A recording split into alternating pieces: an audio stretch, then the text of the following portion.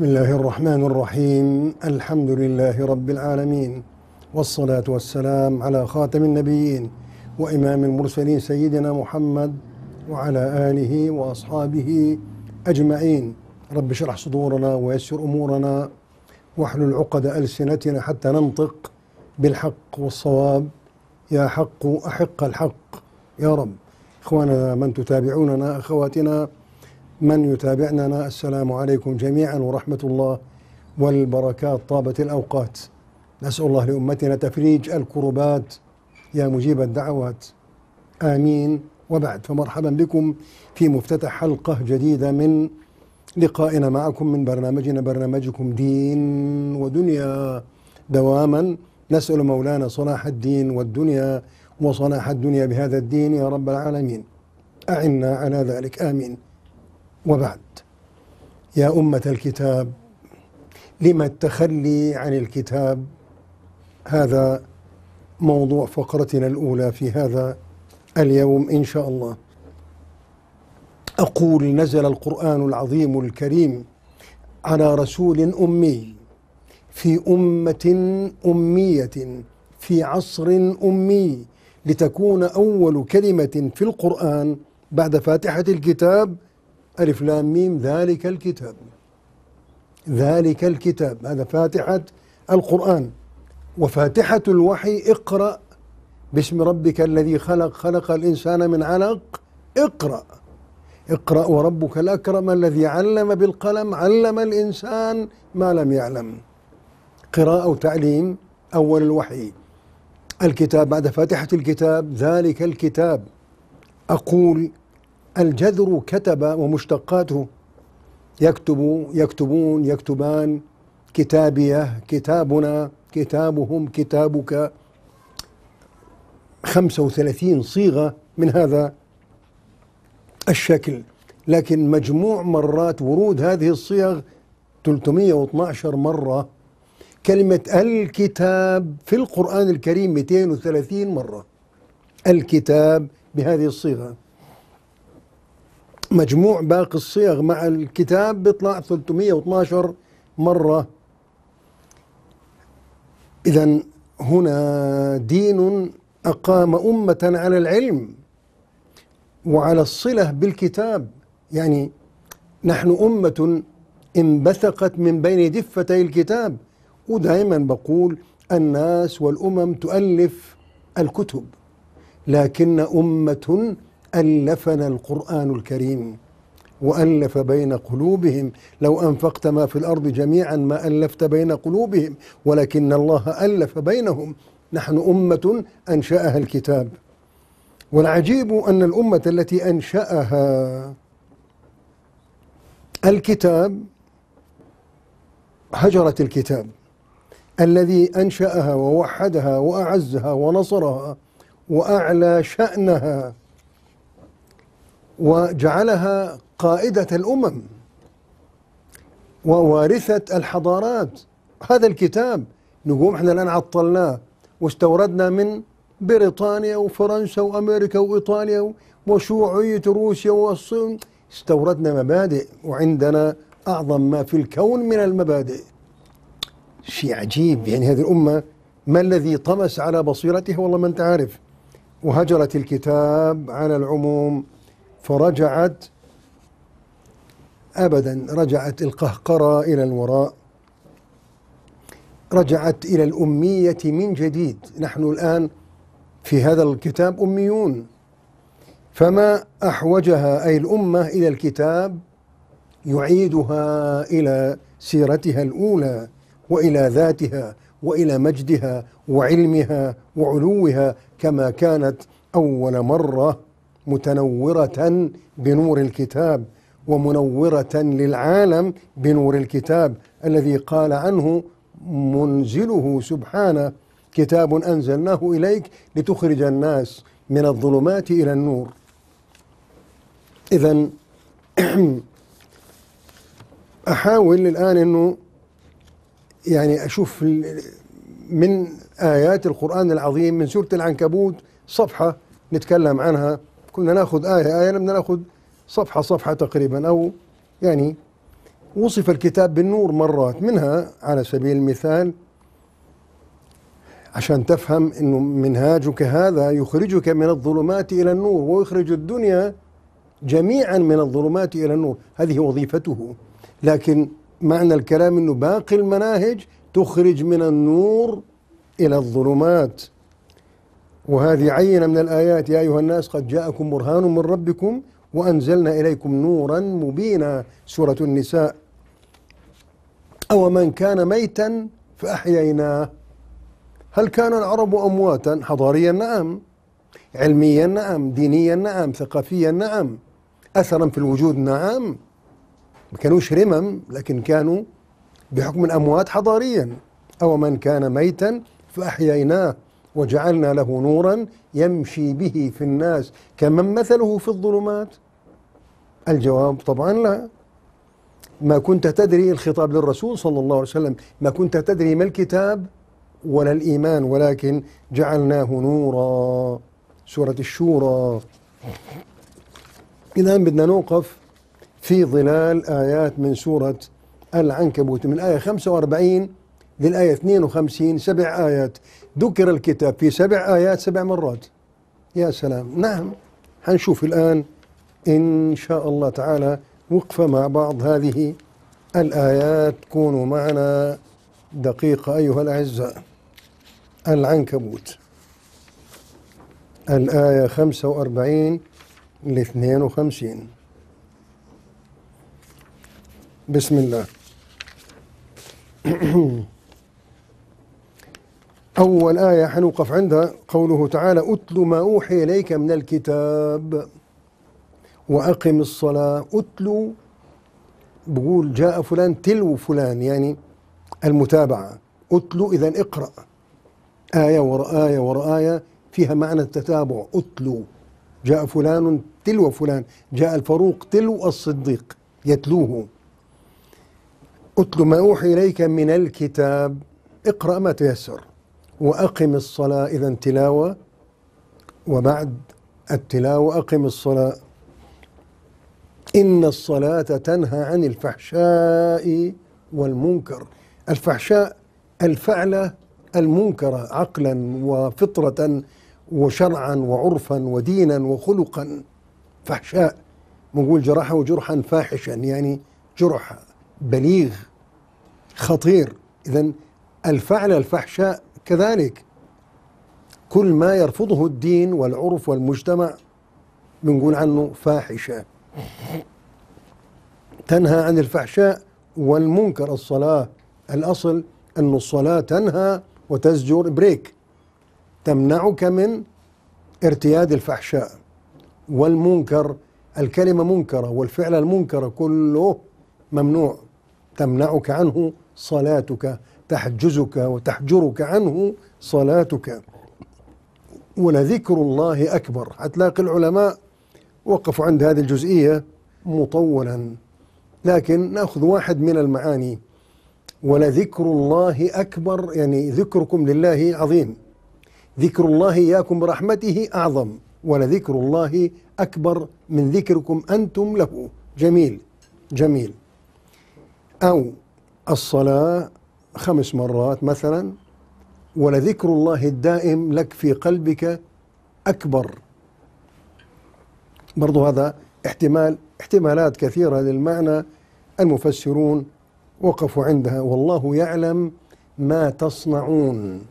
في تفعلون في تعملون في تصنعون. تفعلون الفعل اوتوماتيك للآلي تعملون معنية وتخطيط. تصنعون تدبير محكم وتخطيط دقيق رسم مرسوم. هاي ثلاث مستويات. تفعلون تعملون تصنعون. يا سلام.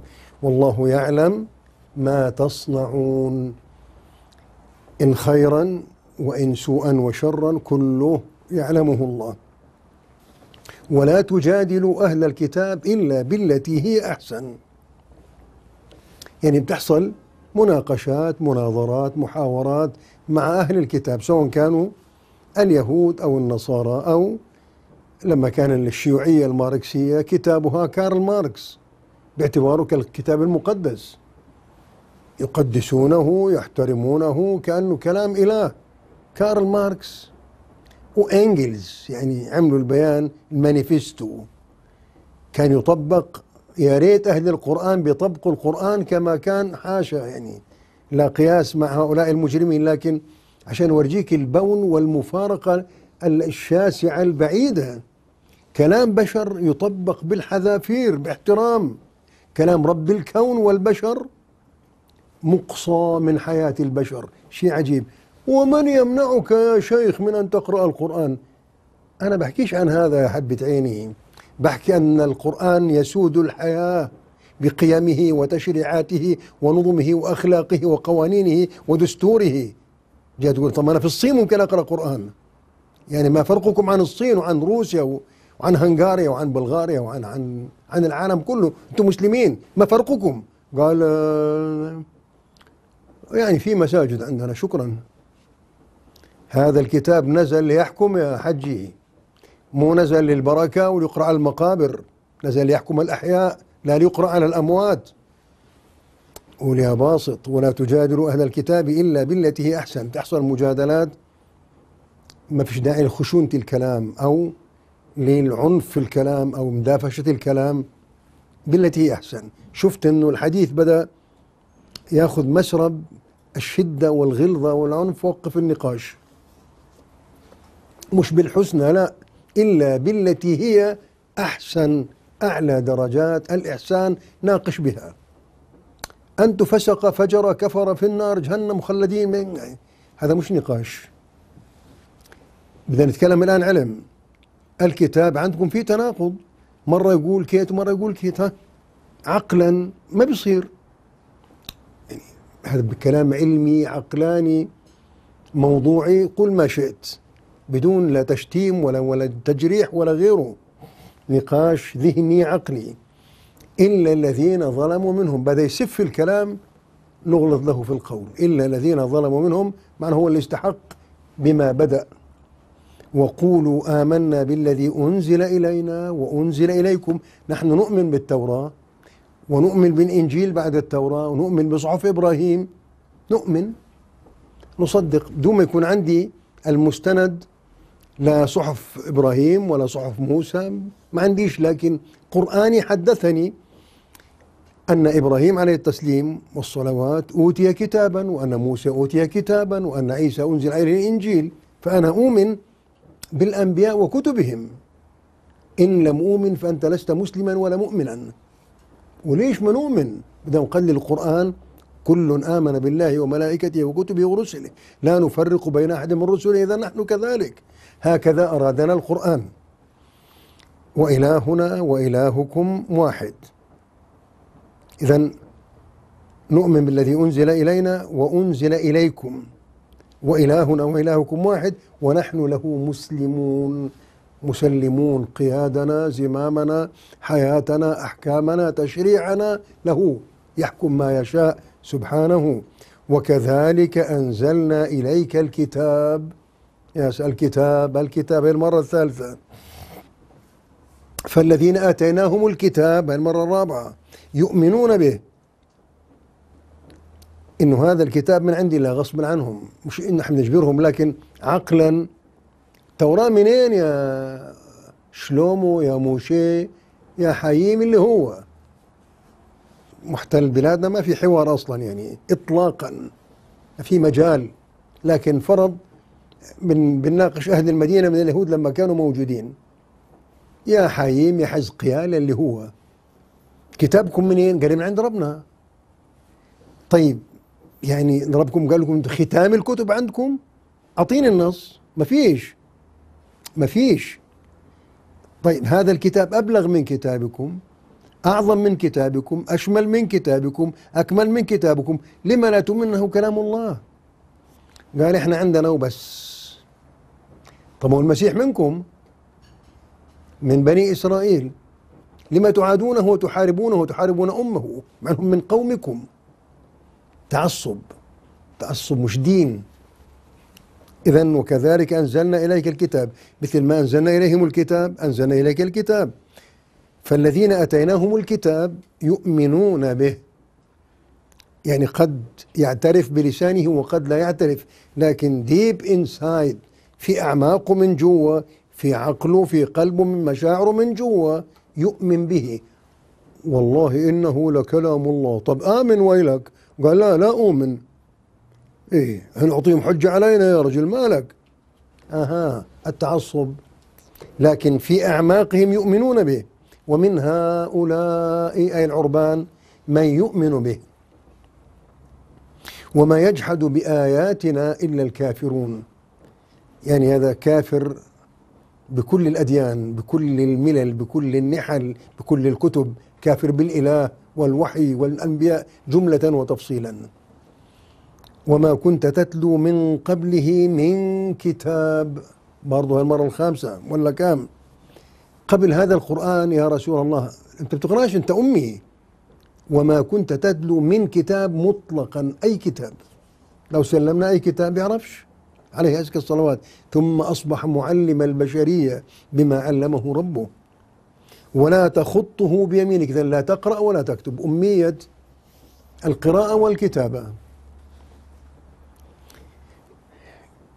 إذا لو كنت تكتب وتقرأ لارتاب المبطلون. هذا معنى إذن. لو أنك كنت تقرأ وتكتب لكان عند المكذبين ارتياب شك لكنك أراد الله أن تكون أميا لتكون الآية معجزة بالغة الإعجاز. طب هذا الأمي منين له أخبار كل هالأنبياء؟ منين؟ العرب قالوا يعلمه أعجمي. يا راجل يا راجل. يعني الآن سريلانكية شغالة في بيت. بتعلم الأولاد عربي قواعد عربي وبلاغة عربي مثلا يعني. شرح لهم درس البلاغة من من من كتاب توجيه عندهم بلاغة؟ مثلا مثلا ما تدقش. ممكن السريلانكيين تعلم الأولاد؟ أي لا طبعا. تعلمهم إنجليزي دارس إنجليزي ببلدها ممكن. هي تعلمهم بلاغة وتعلمهم قرآن وتعلمهم النحو العربي أي لا. طب صهيب الرومي يمكن برضه مواطن بابا يقول لك أعطيني أنت هذا مثلا. فصهيب الرومي من أين جاء بهذه البلاغة وبهذا الإعجاز؟ منين؟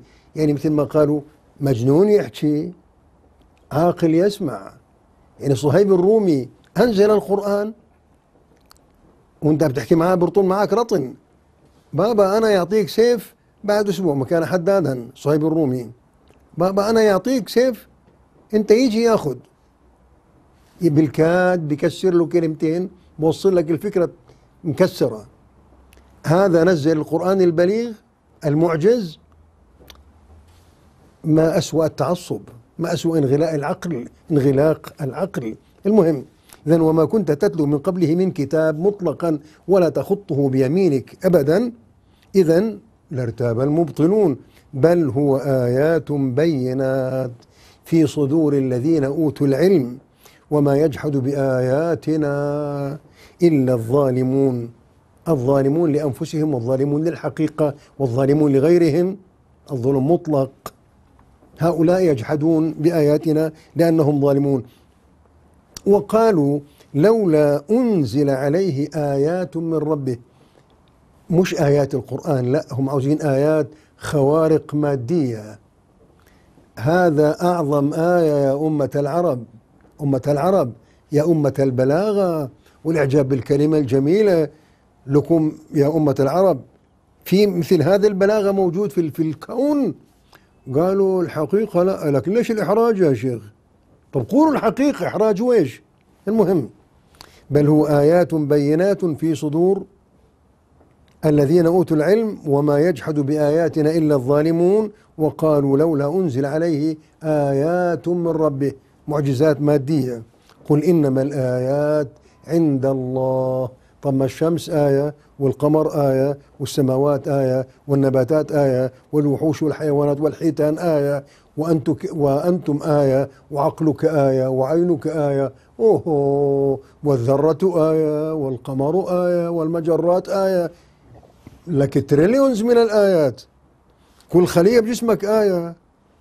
قال لا أنا بدنا هيك نزل الشمس على الأرض.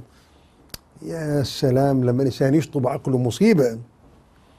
قل إنما الآيات عند الله عند الله الآيات لا تعد ولا تحصى. وإنما أنا نذير مبين. إن شاء مولانا ينزل آية يفعل. أنا عبد مبلغ فقط نذير مبين. أنذركم سوء العاقبة إن ضللتم عن هذا الحال. أولم يكفيهم أن أنزلنا عليك الكتاب يتلى عليهم؟ ما بكفي أنه الكتاب يتلى عليهم؟ وهم أهل البلاغة وأرباب البيان يعني العرب مبدعون في الكلمة أداء وتذوقا. يخفى عليهم أن هذا القرآن مدهش معجب معجز يخفى عليهم؟ لا والله. لكنها الأهواء هوت بهم في الحضيض؟ إن في ذلك لرحمة وذكرى لقوم يؤمنون. ذكرى تذكر لقوم يؤمنون قل كفى آخر آية بالله بيني وبينكم شهيدا يعلم ما في السماوات والأرض والذين آمنوا بالباطل وكفروا بالله أولئك هم الخاسرون أي لا سواهم. آمن بالباطل وكفر بالله الحق وكتابه الحق ورسوله الحق. أولئك هم الخاسرون يعني كان هم هم المختصون بالخسارة ومختصة الخسارة بهم. إذا أتل ما أوحي إليك من الكتاب سورة العنكبوت. ما في مجال الآن للتفصيل من ذوات ألف لام ميم اللي منهم الزهراوان إلى آخره. إذا كلمتي إلى الأسرى سريعا. أقول كلمتي لهذا الأسبوع لعميد الأسرى بعد التحية لإخواننا وأخواتنا وأهاليهم من الأسرى والأسيرات وأهاليهم جميعا. كلمتي لهذا الأسبوع لعميد الأسرى في موضوع الإضراب عن الطعام. فقد ضرب رقما قياسيا في الإضراب يعني في هذا الإضراب. ليس على مستوى فلسطين فحسب بل ربما على مستوى العالم. 140 141 يوم أنت صوم يوم وجرب حالك آخر نهار بتلاقيك ذبلان مطوطح كيف اللي صمد 141 يوم؟ يا أمة والعالم العربي يتفرج هو أفطر هذا ولا ما أفطر؟ قلنا له مش حالك أنت؟ خليك مرتاح خلك مرتاح على أريكتك. فهنيئا للبطل هشام انتصاره وكسب قضيته وتحرره. فلله الحمد. ولشعبنا التهنئة بهذه الفرحة الغامرة ولهذا الدرس القيم والبليغ والتاريخي والاستراتيجي. أن الإرادة أقوى من السلاح وأن الحق يغلب الباطل. ولو كانت كل الدنيا الفاسدة والدول الماردة تعزز وتدعم هذا الباطل. درس كبير علمه هشام للدنيا. معلم هذا الرجل مناضل كبير بهمته كبير بعزيمته كبير بقضيته. قضية الحق قضية وطن مغتصب من قبل عصابات مغتصبة ودول مستعمرة متآمرة وخونة وعملاء يساندون. يا كل سجناء العالم يا كل المسجونين لأنهم يحملون الحق ويدافعون عن الحق. تعلموا وتلقنوا هذا الدرس. من هذا المعلم صلب الإرادة ماضي العزيمة يا شعبنا كل شعبنا في فلسطيننا. هذا هو الطريق. لا مساومة لا مسالمة لا اعتراف بهؤلاء المجرمين. الرمز. رمز إيه؟ وقع الرمز. حط القضية في الطين. يا كل شعبنا لا مساومة بل مقاومة. لا اعتراف. في الاعتراف انحراف وانجراف. عن طريق التحرير لن يوصل إلا إلى ضياع الحق. لولا أمثال هؤلاء المقاومين المقارعين لهذا العدو والملقنين لهذا العدو درسا لن ينساه ولن تنساه أمة الحق. بل تعلمته ووعته واختزنته في الذاكرة التي لا تضيع الدروس الثمينة القيمة بل تحتفظ بها في الصميم من أفئدتها ومن العقل ومن العزيمة والإرادة. حي الله البطل هشام أبو هواش وحي الله كل أسرانا الأبطال وكلكم على شاكلته عزيمة وإصرارا وإرادة وتصميما وثقوا أن الفجر قادم والفرج بالنسبة لكم بإذن الله جد قريب.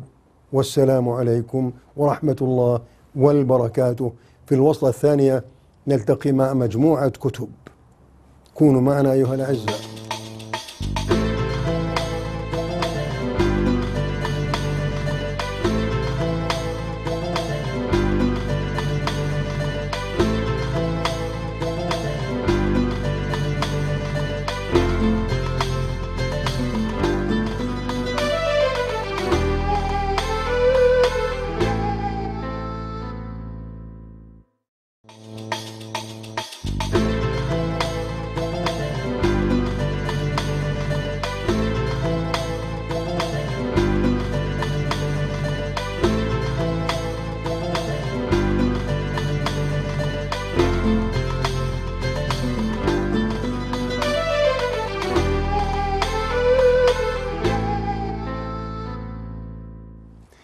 إخواننا مشاهدينا أخواتنا مشاهداتنا حياكم الله مرحبا بكم في الوصلة الثانية من لقائنا لهذا اليوم. تعودنا أن نعرف بكتاب. كنا نتكلم عن الجندر وما زال الجندر معنا لكن بدي اليوم أوقف الكلام عنه لأتكلم عن كتاب يعني يخدم نفس القضية اللي هي الصد الهجمة على ديننا. الكتاب هذا اسمه رسالة دكتوراه منهج القرآن الكريم في بيان أوجه الاتفاق والاختلاف بين الذكر والأنثى. رسالة دكتوراه قدمت لجامعة العلوم الإسلامية أشرف على الرسالة. الدكتور أحمد البشايرة ناقشنا معا عديدا من رسائل الماجستير والدكتوراه. نعم الدكتور أدبا وعلما وذوقا وخلقا ما شاء الله. أحمد البشايرة مرب فاضل زميل كريم الخلاصة. والكاتبة الدكتورة عربية عسر ألفظها عسر من عندي قد قد تكون بأكسنت آخر لا أدري. الكتاب أو الرسالة تقع في 176 صفحة إذا مش ناسي. مضبوط 176 صفحة. صحيح. ورجعت إلى 125 مرجع. نوقشت الرسالة 2016 طبعت 2018 أول ما استلمت الكتاب قلت يا رب يكون فاروق بدران عبد الدكتور عبد اللطيف عربيات رحمة الله عليهما أحبابنا إخواننا سادتنا والله. دكتور عبد اللطيف قلت يا رب يكون كاتب مقدمة للكتاب فوجدت أنه كاتب مقدمة قلت ربي لك الحمد. إذا معناها الكتاب قدم له قبل أن ينتقل إلى مولاه رحمة الله عليه. مما قال الدكتور عبد اللطيف في مقدمة الكتاب يقول الأمة تواجه غزوا. في الوعي. دهاش يعني عبقريات. لا لا إحنا الآن عالم متعاون. حلاوتك. ما حلاوتك؟ متعاون. الفار متعاون مع الفيل. كيف التعاون؟ قال لا الفار متعاون مع الفيل. إيش؟ هذه أوروبا الفيل وإحنا الفار. في ديله فالأمة تواجه غزوا وتحديا يمس حقيقة وجودها ومستقبل أبنائها. إخواني الحرب في حرب ناعمة ثقافية وفكرية. وافتح المجال بس أنت افتح لي المجال. بس أنت افتح المجال وأنا بخرب. افتح المجال بس. مفتوح المجال. أه. تيجي واحدة عام يعني بتاعت أزياء. تنشال مكرمة معززة. أه. تفضلي. بيجي مغني مغني هلا هلا ميت هلا معواد نورت البلاد بويا ما شاء الله. أه والشيخ بلاقي كشره هم بسم الله الرحمن الرحيم. إيش فيه؟ يعني طب عاملوا الشيخ مثل الرق سامحونا يعني. أي لا آه هذا فن وأنتم قدفشين. شكرا بارك الله فيكم بارك الله بهمتكم. ما تقصروا ما تقصروا أي والله. آه وهذا الطوفان المبرمج رحمك الله يا أبا سليمان. يستهدف حقيقة مفاهيم الحياة الأساسية. يعني قواعد هدم القواعد يعني الأسرة والرجل والمرأة. لا كله جندريه جندرمة جندر جندر, جندر, جندر. التي غرسها الإسلام في مجتمعاتنا على مدى قرون لثوابتنا أصولنا قرآننا سنة نبينا فطرتنا حالتنا منذ خلقنا. بهالوجود بدهم يقلبوها. جندرية تصير يا أبوي. كله جندر كله جندر. يعني بيقولوا لي واحد اللي بتابعنا من, بني نايم يعني. راقد إيه إيه, إيه. ماشي مع الكاميرا وأنا هياني في قرية كيت أنا في هياني في قرية كيت وأنا من ال من ال من ال من, من, إيش؟ من ال من القرآن خسف بهم الأرض. ليه رب العالمين وقال وإنكم لتمرون عليهم مصبحين وبالليل في طريقكم. آخ ليه مولانا قص عن هذا القص قال هيك تسلية تسلية. بالله يا راجل تسلية. جعلنا عاليها سافلها. قلبناها راس على عقب لأنهم قلبوا الفطرة قلب الله عليهم وجودهم لأنهم قلبوا فطرة الله. وطلع واحد دجال يقول لك أنا شيخ مفتي في بلد ما قلناش فرنسا ولا غيره. آه والمثلية مالها شو معنى؟ الدين ما قالش حرام. يا ولد يا ولد. وقصة هذا النبي الكريم وقومه الذين مسحهم الله من الوجود. شو تقول بها قال هذه قصة حلاوتك. أنت شيخ إمام؟ قال لي آه آه حطوا لك كام في جيبتك عشان تقول هالكلمتين. وكل واحد منهم طيب يقول هو البعيد من النوع المنح ما تقولش حطها ما قلتش. بسم الله الرحمن الرحيم. محروسين دول حجي ممنوع حد يحكي عليهم. تحمر العيون. والحدق تتسع ما شاء الله ويغضبوا لهم. لكن لا يغضبون لله ولا لدين الله. آخ يا الله. يا رب رحمتك بالعباد يا لطيف الطف بنا يا الله. نحن أمة الإسلام غصب عن خشمك. يا سيدي غصب عن خشمنا ويش خشمي؟ سيبك من خشمي أنت. وهذا الطوفان المبرمج يستهدف حقيقة مفاهيم الحياة الأساسية التي غرسها الإسلام في مجتمعاتنا على مدى قرون وهو يعلن ذلك أنه يسعى إلى قتل مفاهيم أصيلة في فكرنا وحضارتنا. أي هذا الهجوم يعني. ويقوم بالتشويه بكل الوسائل المتاحة لديه كلام الدكتور عبد اللطيف رحمة الله عليه.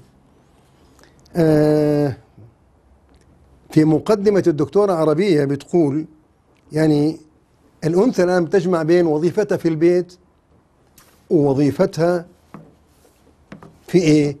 في الخارج البيت لأنه مطلوب منها الآن واجب البيت تشتغل برا. لأنه العالم كله بيقولها برا اطلعي برا سيبي البيت.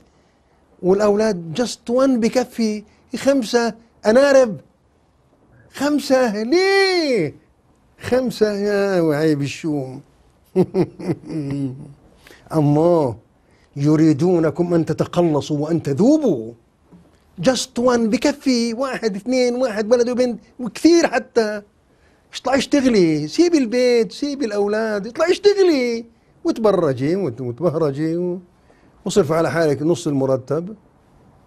آخ شلون؟ المهم الأنثى حملت فوق طاقتها فهي جمعت بين عملها المكلفة به في البيت يعني وعمل الذكر فشق عليها وأجهدت وأجهدت نفسها برضو على حساب الوظيفة الفطرية. الأمومة ورعاية البيت. صار مضطر يشتغلوا الاثنين عشان يكفوا حالهم مش مكفين حالهم.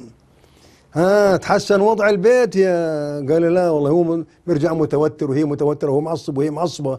منرفسين على بعض. أنا ما كنت شيء عرقانة مثل ما أنت عرقان تعبان مثل ما أنت تعبان. ما فتحتش عينك فيها. أصبح البيت جحيم. والقرشين نصهم بروح يا مواصلات وحضانة الطفل راح الراتب. بس المهم خربنا البيت وحددنا النسل شفتوا الفيلم يا أبويا؟ حجاج انتبهوا. انتبهوا. 150 دينار حضانة. آه، خوش حكي وسيارة وبنزينها. آه، مواصلات ترانسبورتيشن. آه، راح نص الراتب. شو ظل؟ بس شيخ بعد 30 سنة بصير عندها ضمان اجتماعي. أو يس. بتكون هرمت وتعبت وكتت وقعدت لا كان الضمان. عندما ينحرف الإنسان عن الفطرة التي فطره الله عليها يختل الميزان. كلام جميل. قرأت في يوم واحد. أبد أورجيك الأسبوع هذا ماذا قرأت؟ من فضل الله. البيان النبوي لعدنان زرزور. أهداني إياه كتاب هذا. جميل. قبل أكثر من نصف قرن كنا زملاء في التدريس. قبل أكثر من نصف قرن. وإهداء أهو. يعني بخطه رحمة الله على الأيام ما ندري والله عنه الآن. وهذا الخليفة المقاتل مروان بن محمد. آخر خلفاء بني أمية إذا مش غلطان. للدكتور فاروق عمر كتابه جميل. تنازع كيف خرب بيتنا. تنازع الخلفاء وإن كانوا أحيانا إخوة أولاد عم ولا غيره كلهم أمويين بتطاوشوا أمويين مع العباسيين بتطاوشوا نيلة على على على الأمة المتخالفة. شخصية المسلم كما يصورها القرآن الكريم الطبعة الرابعة في قطر. هذا كله من فضل الله وغيره لسه في قدهم وزيادة في أسبوع واحد. مصطفى عبد الواحد كتاب بسيط لكنه والله مهم. يعني بيتكلم عن شخصية المسلم إيمان بالله والقدر والكتب والملائكة والرسل إلى آخره وشخصية المسلم يعني عقله قلبه ثقافته إلى آخره. وكل أخلاقه موثق بالقرآن والعقل المسلم والرؤية الحضارية. برضو صديقنا العراقي الدكتور عماد الدين خليل درسنا في أكثر من جامعة مع بعض. كتاب صغير لكنه كبير. بيتكلم عن الأصول الحضارية الأرضية اللي هي الكون المسخر لك الإنسان والمنهج اللي هو تعليمات القرآن كيف نعمر الأرض. إنت الآن الغرب الأرضية متوفرة لهم. وصلوا القمر وصلوا زحل وصلوا مش عارف وين لكن ما في منهج. ولذلك ما صنعوا شيئا. هذا الكتاب علي صالح الهزاع أنيس الجليس طباعة الكويت. عندي برضو من من قديم من قديم طباعة الكويت تسعة وثمانين يعني أقل من أربعين سنة. هذا كتاب الرحالة كاف لعباس العقاد. أعده أنا بالنسبة لي من من أعمق وأجمل ما كتب العقاد. كل ما كتب العقاد جميل. شباب لترجعوا لمثل هذه العقليات هذا القلم الفذ هذا الفكر العظيم. بوزن 100 طه هذا. إيه هذا يا سيدي؟ أنا كاتبه من سنة 78 ميلادي 98 هجري. وهي تحيات التوجيه المعنوي القوات المسلحة. أهدوني هذا الكتاب سنة 89 يعني كام؟ يعني حوالي 40 سنة ولا كام؟ والله ما عارف كنت أدرس مثل ما قلت لكم زمان في كلياتهم. كليات الشرطة وكلية القيادة والأركان كلية الكلية العسكرية الكلية المهم. فأهدونا هذا الكتاب من هذا التاريخ الذي رأيت بالتوجيه المعنوي. هذا لسه باقي كتابين ولا كام أنجزتها في أسبوع؟ من فضل الله. لا تقلدوني والله لأنه الضريبة غالية. الضريبة غالية يعني مستعدين ندفع. أنا بالنسبة لي الله المستعان. نسأل الله العافية لنا ولكم. على كل حال من حكم الكواكب في هذا الكتاب الجميل يقول إن البلية فقدنا الحرية. يا سلام. الكواكب طبعا من آل البيت الكواكبي. وسلالته معروفة نسله من ابن زين العابدين علي خلاصة. يعني من حيث الأصول معروف. وهو من أخوال العقاد. من أخوال العقاد. بيقول وما أدرانا ما الحرية. إحنا ما نعرفش الحرية. هي ما حرمنا معناه حتى نسيناه. حلاوتك. شن هي الحرية يا عربي؟ قال حرية تدخن. الله يفتح عليك. حرية تشلط شيخ. ما هذا الحرية؟ هذا المسموح به. شو نسوي؟ بدك تروح سينما روح سينما. حد بيمنعك؟ لا. بدك تروح المسجد. حط عليه علامة. ماله هذا؟ صار أصولي. أصولك؟ لما أصولك. مش أصول من أصولي. آه. بيقول حرمنا معناه حتى نسيناه وحرم علينا لفظه. حتى استوحشناه. حرية يا حرية وينك وينك؟ يا حرية وينك وينك؟ العربي بعيط قاعد. يا حرية وين ضيعها؟ لك وين راحت؟ حطيتها بجيبتك لما وين راحت؟ قال والله ما عارف. راحت راحت. نسيناها حجي. العربي لا يفهم أصلا معنى الحرية. بيعرفوا الغرب الأغراب. مستر بايدن you are wrong بروح على بيته عادي. لما وقف عضو مجلس النواب في مصر قال له سيادة الرئيس يعني كلنا محتاجين تربية روحية حتى يعني سيادتك ما روحش البيت. ما راح فين؟ ولا السجن. راح فين؟ قلت لكم إيه من قبل؟ ودوه مستشفى المجانين. أنت بتقول يا شيخ يا يا يا أنت بتقول للرئيس محتاج تربية روحية؟ يروح أمك؟ نعم يا أخويا. على المجانين. يا الله يا الله. أنت في العالم العربي حجي ما الغريب؟ استغربت لي ويش؟ أنت في العالم العربي عالم العجائب. وليس في عالم العجائب. إن الحرية أعز شيء على الإنسان. حريتي أغلى من حياتي. بعد حياته. بفقدانها تفقد الآمال. وتبطل الأعمال وتموت النفوس وتتعطل الشرائع وتختل القوانين. يقول أحد الكتاب عن الكواكب لو لم يكن شيخا دينيا لكان قائد جيش فاتح الكواكب.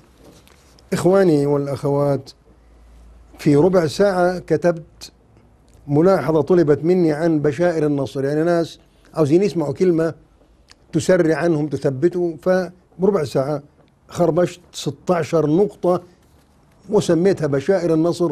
أرجو أن تسمعوها معي إن شاء الله. المهم كتاب الدكتورة الكريمة اللي قلنا عنه المرأة والرجل الذكر والأنثى بينهم تكامل وليس الذكر كالأنثى. فوق كلام ربنا ما في كلام. المسلم الآن بدك تقنعه كلام ربنا أعلى من كل شيء. أقنعني شيخ أقنعني أقنعني شيخ أقنعني. كيف بدي أقنعك؟ مولانا اللي خلق بيقول وليس الذكر كالأنثى. يعني طبقية؟ لا مش طبقية يعني وظائف مختلفة. يحترم وظيفته وتحترم وظيفته. بمنتهى البساطة يعني. أه شو رأيك نحط رحم للراجل وخليه يحمل؟ يلا. آخ يا أمة ضحكت من جهلها الأمم. بشائر النصر أولا مداولة الأيام سنة إلهية سنة كونية قل ما شئت وقانون رباني إذ دوام الحال من المحال. وهذا نص القانون الإلهي وتلك الأيام نداولها بين الناس. ما كان الله ليذر المؤمنين على ما أنتم عليه حتى يميز الخبيث من الطيب اللي يحصل فرز حجي. لازم الفرز ربك اللي بيتولى الفرز. عشان تكشف كل واحد إيش وراه إيش قدامه إيش مستبطن من جوا مولانا طلع. آه. وما كان الله ليضيع إيمانكم. والله بيقول والله غالب على أمره ولكن أكثر الناس لا يعلمون. رقم اثنين كان ذاك قانونا عاما. فماذا بشأن صراعنا مع المجرمين المحت... لا تقول مجرمين. بسم الله الرحمن الرحيم. شو أقول؟ الحلوين ها شو رأيك؟ الأشقاء شو رأيك؟ الأعزاء شو رأيك؟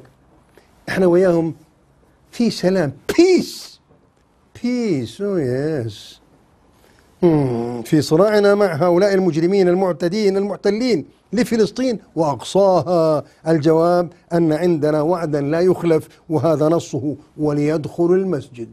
كما دخلوه أول مرة. دخلنا أول مرة إزاي؟ قال لي سلميا. سلميا؟ أخضعناهم بالقوة فسلمونا الأقصى. مش سلميا بالمفاوضات لا بالمفاوضات ضيعتوا فلسطين يا منظمة. يا وريث الرمز. الرمز the second يا رموز كلكم رموز ما شاء الله. ثلاثة ازدياد وعي الشعوب على حقيقة المعركة مع الصهاينة وأنها معركة بقاء ووجود الاعتراف جريمة السلام جريمة الأم to be or not to be يعني إحنا يا هم أما إحنا مع بعض ما كل يوم بيزحفوا علينا. وكل يوم يهديهم تك تك تك تك تك تك تك توقفش الجرافات. رضينا بالغلب والغلب مش راضي. شو رأيك؟ رضينا بالغلب. بس الغلب إيه؟ مش راضي. يعني المحتل مش مش طايق صاحب البلد. لك دمك ثقيل. قلعوا زيتونهم كسروا بيوتهم اهدموا دورهم. تك تك تك تك تك والعرب مش شايفة. لا يعلمون. لا لا يعلمون. يتحركون. من يدريهم والله ما نعرف ما حد يتبرع يسمعهم يقول لهم إخوانكم في فلسطين في مأساة بيعانوا معها المجرمين الله يعينهم. الله يعينهم. الله دعائك ما شاء الله مستجاب. الله يعينك ويعينهم. ماشي الحال إذا ازدياد وعي الشعوب على حقيقة المعركة أنها معركة وجود إما نحن وإما هم. ومعيقات النصر بدأت تتكشف وبدأت تحرق فانكشف كثير من الخونة والعملاء والمرتبطين. أربعة الربيع العربي كان قاب قوسين أن يحقق أمله وحلمه. لكن اجتمعت كل قوى الشر والتخلف والانحطاط والتبعية وعملاء الاستعمار والتصهين حتى أحبطت هذه الثورات. ولكن جذوتها باقية. شو سعيد اللي كان في الأول عربي يحكي عربي زين خطه بالعربي زين قلنا ما شاء الله يا زين قي كيف طلع قي قيس تعيش سعيد سعيد يا سعيد يا سعيد. كيف طلع هذا من ال... وإنه كان سقط القناع عن القناع. قناع ورا قناع. ولذلك اوعى تطمئن إلا بعد ما, ما تفحص 100 فحص. كورونا واحد وكورونا اثنين وكورونا لأنهم كلهم مستبطنين ما لا ما لا يخطر ببال الشياطين. قول يا باسط. قول يا باسط. إذا رقم خمسة انكشاف حقيقة الكيان السرطاني مو لينا فقط لأمريكا ولأوروبا. 60% من آراء في استطلاع الشباب الأمريكي. هم not concerned يعني مش مهتمين الشباب. مع هذا 60% يقولون إحنا ضد دعم إسرائيل وضد انحياز أمريكا لإسرائيل. 59% من الأوروبيين ذا كان الأمريكان شباب الأمريكان. 59% من يوروبيانز ماله استطلاع نتيجته كانت 59% يرون أن إسرائيل سبب عدم استقرار العالم. 59% يعني مقابل 41 بالمية هذول قابلين برضو للتزحزح نحو 59 بصيروا 63 مثلا. لأنه عم تتكشف يوما فيوم إجرامية هذا الكيان السرطاني. ما عدا عند العرب ابتسام وعلاقات سرية سري مري. وحب من تحت الطاولة ومن فوق الطاولة. وشايلني وشايلك. ستة انكشاف حقيقة الوضع العربي وأن مهمته أها تفضل كمل. كنت أقول محاربة الإسلام لكن بطلت. مش مناسب مش مش مناسب. إطلاقا مش مناسب. سحبتها. لا إله إلا الله. وحراسة المشروع الصهيوني. كنت بدي أقول بطلت. وإدامة بقاء إسرائيل سبعة انكشاف القوى التي كانت تتزعم العمل لفلسطين كفتح الجبهات المختلفة كله طلع. إيه المنضوي تحت لواء منظمة التحرير الفلسطينية ورقم ثمانية جاح التجربة التركية. أردوغان ما, ما جاش بمشروع إسلامي. فقط فقط سمح للتدين للشعب. يا شعب اللي عاوز يدين الدين مش عاوز بلاش. ما ألزمش ما فرضش. مثل مش مثل بعض الدول العربية. النقاب فرض واللحية فرض والفرض والعصاية وراك. صلي صلي صلي صلي. المقرعة اسمها المقرعة بالعصاية صلي صلي. عشان يكرهوا الناس في الدين. بعد ما كرهوا الناس في الدين قال لهم دين أوفر. هي هيصوا هيصوا. لأنه كان دين إرغام. يكره. آخ الإسلام قناعة من الداخل. مو عصاية. غطي وجهك. يا عورة غطي وجهك يا عورة يا عورة. أما ما شاء الله هذا جست قال لهم اللي عاوز يتدين يدين مش عاوز يتدين براحتك فقط أعطوا الناس حرية بس مش عاوزين تعملوا دعاية للإسلام ولا ولا ولا ولا, ولا, فقط اسمحوا للناس. صلوا جمعة لا عاوز يصلي ما يصليش صوموا على كيفكم تلبس مراتك ما تلبس براحتكم. مجرد ما سمح للناس دبت الناس على القرآن حفظا وتحفيظا أطفال وغير أطفال. آخ صارت الجمعة هكذا في في إسطنبول. إذا 221 مليار صادراتهم 2021 إذا بس بداش نطول عليكم 14 ولا كام وصلنا؟ والله ما نعرف. آه لسه لسه لسه. تسعة أمريكا وروسيا دعمتا المشروع الصهيوني بوتهما. والآن تشهد الساحة العالمية توتر الأجواء بين القوتين العظميين روسيا والصين. معا وأمريكا في المقابل وهذا يضعف موقف أمريكا وبالتالي إسرائيل عشرة تجربة المقاومة في غزة البسالة غزة البسالة والبطولة والرجولة والانتصار ولذلك العرب يحاصرونها ويحاربونها ويكرهونها. إيه إن شاء الله البحر ينشق ويبلع غزة نخلص من غزة على غزة يقرف غزة ويوم غزة ويخرب بيت غزة. تجيها إن شاء الله مئة هزة ونخلص من غزة. يقرف يقرف خلاص فهمنا. لا إله إلا الله. 11 احتراق وهم السلام. السلام يا سلام يا عيني على السلام دق المزيكا يا سلام. احتراق وهم السلام الذي خدع الناس لبعض الوقت. ثم انهزم وانهدم الوهم وتبخر وانكشفت حقيقته 12 زيادة الوعي الديني اللي بيحاربوه. ليه؟ لأنه هو اللي حيحرر فلسطين. ربك اللي قال بتخش المسجد المعركة حماها في المسجد الأقصى مو في المراقص يا حجي صحيح أن انفلات الشهوات وتسعيرها من قبل وسائل الإعلام العروبية يصد عن الدين لكن برغم هذا فإن الوعي الديني في ازدياد 13 انكشاف العلمانية اللادينية في معظم الدول العربية والإسلامية وهي التي كانت سدا أمام المد الإسلامي وكلها احترقت بفشله في تجربة الحكم في مجمل البلاد. 14 وعد الله بأن يسلط عليهم إلى يوم القيامة من يسومهم سوء العذاب ويتأذن ربك. لا يبعثن عليهم إلى يوم القيامة من يسومهم سوء العذاب. 15 تجربة عدونا درس وتجربة لنا. وش هذا؟ ألم يكونوا مستضعفين مضطهدين في كل الأرض بدءا من قصة فرعون قبل آلاف السنين وانتهاء بالقرن الثامن عشر والتاسع عشر والعشرين إلى أوسطه وهم منبوذون الآن يحكمون العالم حجي اقتصاديا وسياسيا. ومهم آه 16 ظهور وتجلي الإعجاز العددي في القرآن. هو لون من الإعجاز قطعا. يا شيوخ يا ناس بعدين ما نحن بنظل نشك في الشيء 100 سنة. لويش وهو بالقطع مما يستأنس به إن لم يكن بالقطع في موضوع صراعنا مع هؤلاء.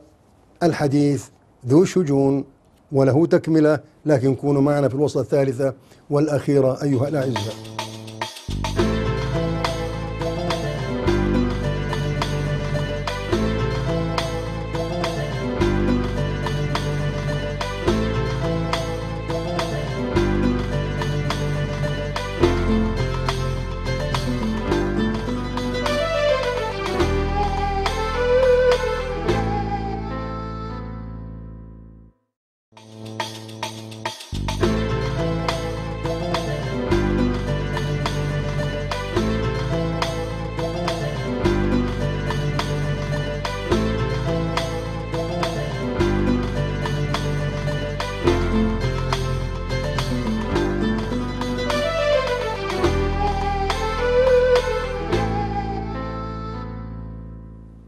إخواننا مشاهدينا أخواتنا مشاهداتنا حياكم الله. مرحبا بكم في الوصلة الثالثة والأخيرة من لقائنا لهذا اليوم. والله عندنا كلام بيغطي حلقتين ثلاثة لكن تتحملونا جزاكم الله خير. اختطاف سفينة بباب المندب. تندب الندابات على شياطينكم التي انسحبت منها القوات التابعة للإمارات فاحتلها الحوثيون. والآن قعدوا لهم في الحديدة وما رقى سفينة صادروها. قال قلة أدب طب ما أنتم سبتوا الحديدة؟ أنتم وتركتوها للحوثيين شو قلنا لكم عمو من أول يوم؟ يلا. فكيف ولماذا تركتم الحديدة؟ ثم أرسلتم سفينة لتمر من المكان الذي أخليتموه. أنتم أنتم الخليجيون يقولون معدات. الموجودة بالسفينة مستشفى. والحوثيين يقولون بل أسلحة. والطرفان متهمان. كازاخستان. رئيس البلاد سيعلن قريبا عن إجراءات تتعلق تتعلق بتحول السلطة. تحولها لوين يعني؟ وروسيا فورا تدخلت لأنه أموه الدول العربية والإسلامية تدار بال remote control. كلنا مستعمرات. يا سيدي تحملنا. كازاخستان تحررت. زي ما تحرر العالم العربي نفس الشيء. لكن روسيا قاعدة. قام الشعب فورا حركت قواتها روسيا إلى كازاخستان. تمسك النظام قال لحفظ السلام في كازاخستان. مستر بوتين. حفظ السلام في كازاخستان. العالم العربي والإسلامي كلاهما على كف عفريت. طلع الشعب من القرف عبى الشوارع واحتل المطار. طبعا جابوا قوات خاصة وجابوا قوات روسية. تعرفش قوات منين ولا منين؟ ضربوا ناس قتلوا ناس جرحوا ناس استرجعوا المطار. والحمد لله الإرهابيين خلصنا عليهم. كله بيستعمل الكلمة القذرة هذه. الإرهابيين خلصنا عليهم. كل من طالب بحقه إرهابي. أها أحسن طريقة. الإسلام إرهابي. أها. والله يا أخواننا وإحنا ندرس بالقاهرة بالسبعينيات. يعني إحنا من فضل الله نحب مصر مثل مثل يعني بلدنا وشعبنا والله حبا شديدا. شيوخ الأزهر والله كانوا يعاملونا معاملة. والله والله هاي مرة ثانية أستاذي الذهبي علم أستاذي مصطفى شاهين لاشين قمة من القمم. سيد طنطاوي أحد من كلهم اساتذتي والله يقيم full professor اقعد يا مولانا اقعد قاعدني محل full professor وأنا لسه طالب ماجستير. لما جت مناقشة الدكتوراه أستاذي مصطفى يقول له يا لا يا سيد الطالب ده تغلط كلمه أمسح فيك الأرض. الحمد لله إحنا ما نسمحش لحد مش عاوزين الشهادة. قبلها بيوم أنا كنت مسمعه كلام الخلاصة الخلاصة. كازاخستان وين بتشد فينا أنت؟ الله يهديك. العالم العربي كله على كف عفريت الوضع مختل وغير مستقر. لا عدل ولا توزيع سليم للثروة ولا غيره. وما زال أي العالمين العرب والإسلامي ماله مستعمرات وتوابع للمستعمرين. نخلص. بيقول روسيا ترسل طلائع قواتها طلائع قواتها. لسه المدد جاي ولسه الكتلة جاية. هذا كله جس طلائع. وما مفهوم السلام تحدده روسيا طبعا. السلام هو الاحتلال المباشر. الآن directly و indirectly الآن هم عم بيديروها indirectly الآن ما دام صار في غوغاء وشوشرة وغيره بدها استعمرها directly مش indirectly بطريقة مباشرة الآن. أحسن. انكشاف الأمور أحسن. التدخل الروسي لترسيخ أقدام النظام الذي يخدم مصالح روسيا. المصابون بالألوف مقابلة هنية. ترفع الرأس. مقابلة بيرفكت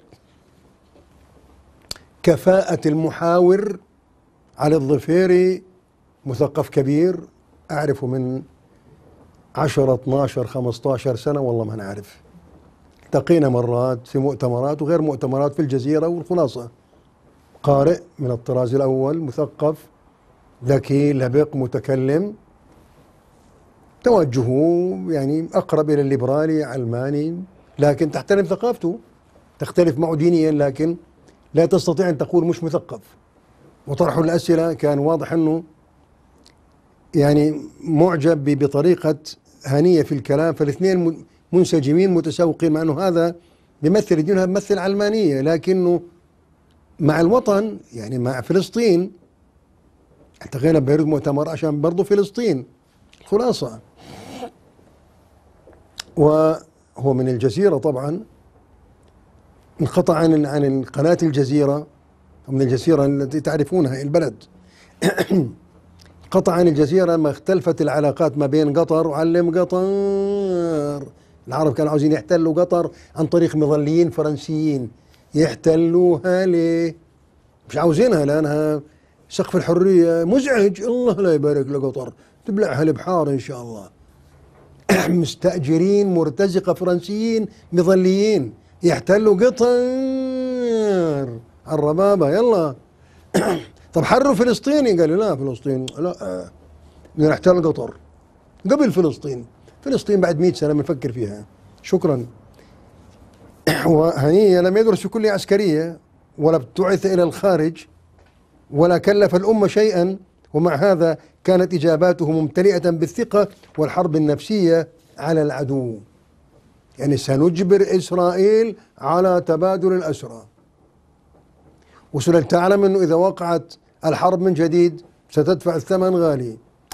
تكلم بثقة وبطمأنينة وابتسامته ما تفارق وجهه يعني كانت مقابلة فعلا لها ضجة وطنة ورنة. وركت يا أبو العبد. هيجي الحكي لو بلاش. اللي ما عنده حكي مثل هذا الحكي لا يحكي إيش تحكي شو تقول بعد؟ إحنا مع السلام. حلاوتك اعزف على الربابة يلا. أوروبا والديمقراطية. قبل أكثر من 170 سنة حصلت أوروبا حقها في الديمقراطية. قبل 170 سنة. سامع يا عربي؟ وإحنا الآن بنقول الديمقراطية إمتى؟ لسه لسه لسه بكير لسه بكير عليكم لساكوا أطفال ما تفهموهاش ما تصونوهاش. أسلمك جوهرة وأنت لسه بوبو؟ قلنا له لا والله. مش وقته. يعني عشر سنين قال لي لا شو بعد خمسين سنة. واو. يعني بعد 220 سنة من أوروبا تنسمع بشيء اسمه ديمقراطية استنخاب حقيقي نحلم به يوم قال ما في عندنا استنخابات. معروفة. الرئيس 99 و9 أسعار باتا يقول لك جبريل لو نزل من السماء ما بيجي 99 و9 والله يعني بعض أصحابنا المصريين قال كنت أخذ العيلة كلها عشان نحط لا في الصندوق. كلنا نصب لا في الصندوق. يطلع الصندوق مية بالمية نعم. حجي أنت في العالم العربي. أنت تكتب لا بقدرة بقدرة قادر. تحول كانت لاؤه نعم. اللا تتحول نعم. نعم يا ريس خلينا ياك يا ريس. الدوم فوق راسنا يا ريس. يا كويس يا ريس خليك ويانا يا ريس. ما تنبارك ليه تموت؟ حتى جانا الشيخ هذا. قتلوه بسنة ما تحملوهوش. يكرهون الإسلام لك يا أخي. ما تبنا نفهم الكلام؟ متى؟ وش بدنا نسوي؟ بس نفهم. بدناش نعمل شيء بس نفهم. Just to understand. فقط فقط بس نفهم. يا حسرة على العباد. لسه مجرد بس نفهم. مش بس نغير لا نغير. ده حلم بعيد يا عم الشيخ. بعيد أوي أوي أوي أوي. الله المستعان. إذا رسى الحكم على قواعد وتقاليد راسخة ثابتة مستقرة. ينتخب بايدن بيطلع بايدن. انت حط ورقة لا بيطلع نعم. وفوق راسك غصب عن خشمك. عجبك عجبك. ما عجبك إن شاء الله عمره ما عجبك. هو كده حنفرضه عليك وتموت. إيه. العالم العربي فتن بالغرب فأخذ عنه كل شيء ما عدا الديمقراطية اللي هي رفعت مستوى العالم الغربي. أخذنا عنه ما ينحط بالدول والأمم والشعوب. الخمر خذناها والربا خذناها والقمار خذناها وتحليل الزنا اخذناها والسينما اخذناها وافلام المساطه اخذناها والتبعية لهم ماشيين طب طب بالمرة خذ الديمقراطية ولك يا أخي مثل ما عدنا 100 مرة. برد اعيدها مليون. عشان بس نفهم اللعبة. طيب أنتم أخذتوا كل شيء الزبالة كلها لميتوها وجبتوها. جايين محملين شو هاي؟ مش زبالة. ولا بالة؟ ما هو يا بالة يا من الزبالة يعني بلاش. أما الديمقراطية لا لا أوعى. والغرب الغرب ساكت. بلاش ديمقراطية لسه ما ما نضجتوش. أخروها شوية خمسين سنة ستين سنة مش مستعجلين. we are not in hurry تنهري إن شاء الله البعيد. الغرب الله يبارك لكم. بوصوهم اوعوا الديمقراطية. بعدين بتطلع أعدائكم إحنا ليش أعداء لبعض؟ ليش؟ لو طلع سين ولا صاد إحنا مش كنا إخوة في وطن واحد بلد واحد شعب واحد أمة واحدة ولا بطلتوا؟ ولا ولا ولا إيه؟ كنتوا تضحكوا علينا؟ والله ما أنا فاهم شيء. أنا مش فاهم شيء. مع أن سر تقدم أوروبا ليس الأزياء والمكياج والخمر والإقمار والدعارة إنما سر تقدمها في إرساء قيمة الأمة والشعب. هنا مربط الفرس هنا سر التقدم. أعطوا الشعب حرية ينتخب اللي هو يعني تطلع البلاد بصير لها يعني وزن وقيمة بين البرية. ما هو البلية يكون ماخذين سفارة أوروبا وتركين بما ما نجحت به أوروبا وصارت فوق الأمم. آه حق الاختيار والانتخاب وهذا ما لا يفكر فيه العالم العربي كله كله. ديمقراطية لا هذا رجس من عمل الشيطان فاجتنبوه اجتنبوه. إيه. أوروبا لم تحصل حقها في الديمقراطية بتبرع من الحاكمين. تفضلوا يا شعب. أي هدية على طبق من الديمقراطية. قلنا له شكرا يا ريس. تسلم يا ريس يا كويس. تبرعت لنا بالديمقراطية. الله يخليك. الله يخليك.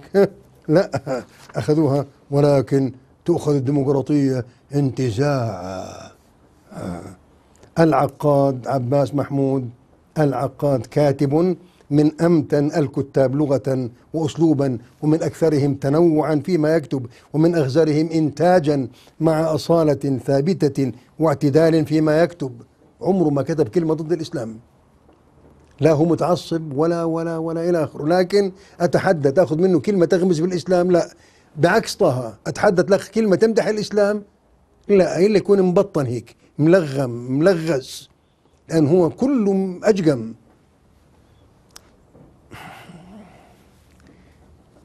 واعتدال فيما يكتب وهو واسع الاطلاع على ثقافات العصر من فلسفة وعقائد ونحل ومذاهب وسياسة وأدب وتاريخ وجغرافيا وأديان وأعراق ونقد وعادات وهو صاحب اعتداد معتد. يعني العقاد سادس ابتدائي. لا جامعة ولا يحزنون. لكن أتحدى كل حملة الدكتوراه أن أن يكتب مثل العقاد. مستحيل. العقاد شيء عجيب. عشرات الكتب ترك وراه.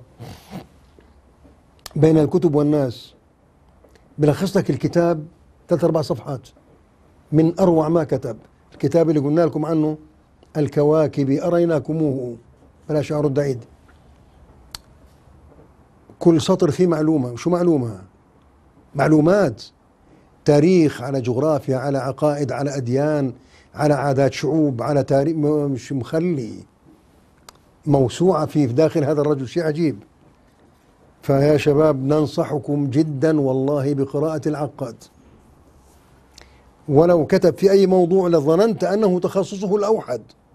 يعني العبقريات تكفيه تكفيه. عبقريات عبقرية الرسول صلى الله عليه وسلم عبقرية محمد عبقرية الصديق عبقرية الفاروق عبقرية خالد عبقرية عمرو بن العاص عبقرية علي عبقرية ما تعدش. قمة قمة. مع أن الموضوعات متباعدة شديدة التباعد لكن يكتب فيها كالمختص أي فن عنده تبحر فيه. شيء عجيب. ومعلومات مثل المطر. والله من أهم كتبه التراجم مثل ما قلنا والعبقريات والرحالة كاف أعده من أهم كتبه. وحدة الأمة يقول العقاد السيد جمال الدين الأفغاني أكبر دعاة الجامعة للجامعة الإسلامية. مش الجامعة التدريس لا الجامعة اللي هي رابطة الأمة الجامعة الإسلامية. في عصره يصرح بغاية الجامعة التي يدعو إليها فيقول من رسالة الوحدة الإسلامية لا ألتمس بقولي هذا أن يكون مالك الأمر في الجميع شخصا واحدا. لا فإن هذا ربما كان عسيرا. يعني نقول للعالم الإسلامي يا عالم إسلامي ليرأسكم واحد يا أخي. انتخبوا واحد خلي واحد حكي حاكم على كل بلد وحاكم بدير هالممالك كلها. كيف 50 ولاية أمريكية؟ 52 52 إيه بديرهم بايدن 50 كيلو. طوله ولا عرضه المهم ومش العبقري. أثبت أنه دون ما كان يظن به يعني. بدير 52 دولة. تكساس ما هي قد أتخن دولة عربية يعني. كاليفورنيا مثل مصر. سكانا يعني قريب من مصر. غنى طبعا 100 مصر 100 مصر. 52 دولة بديرهم واحد وكل ولاية لها حاكم. يا عالم إسلامي اعملوا نفس الشيء يا أخي. ليظل كل زعيم محله كرسيك الله يخلي لك كرسيك وخليك على الكرسي. المهم وبنسق بينكم واحد كوردينيتور يعني يدير المسألة. مش أقوالكم قال والله هو نظريا أقوى لكن بيخدش صلاحياتي. شيخ أنا بحب أكون مطلق الصلاحيات. الله على المطلق. وإن كنا هزيلين ضعفاء محتلين مستعمرين تلعب بينا إسرائيل؟ قال لي نعم.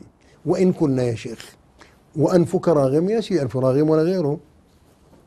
ده بكرة في حساب أنا مالي علاقة. أرجو أن يكون سلطان جميعهم القرآن كلام الأفغاني وجهة وحدتهم الدين. هذا جمال الدين. وكل ذي ملك على ملكه. الكلام اللي قلنا يسعى بجهده لحفظ الآخر ما استطاع. إحنا بنهدم بعضينا. يعني ما ذكرناه من من من قطر نموذج. كيف تكالبنا على العراق؟ قال ما هو العراق؟ تعدى يا شيخ تعدى وبعدين سلمتوا لإيران. وإحنا بنكره إيران ونحن بنعادي إيران. الله يلا يا شباب. ويلا تنعادي إيران. كذب كله. حجي أنتوا سلمتوها العراق. بدي اعيدها مليون مرة. حتى أزهقكم. عاملين حالهم؟ قال بيكرهوا إيران. حجي ما سلمتوها لإيران يا حجي. تلعبوا علينا. ومو صنيعة إيران الأسد هذا مو الشبل هذا. اسمه إيش هذا؟ منشار. مهم قلت لكم من, من أول يوم كلهم بيحبوا بشار. فكروني يعني مسكين أهبل. شكرا. بارك الله بكم ما قصرتوا. المهم قلت كلهم بيدعموه سرا. بعدين طلعوا اللي طب في من جوا طلعوه بس على الطاولة. إحنا مع الأسد. يا أخي مش راضي يروح. كلكم تدعموه حجي. هجر 15 مليون. أوروبا مش شايفة أمريكا مش شايفة. تركينه دمر بلد. مطلوب.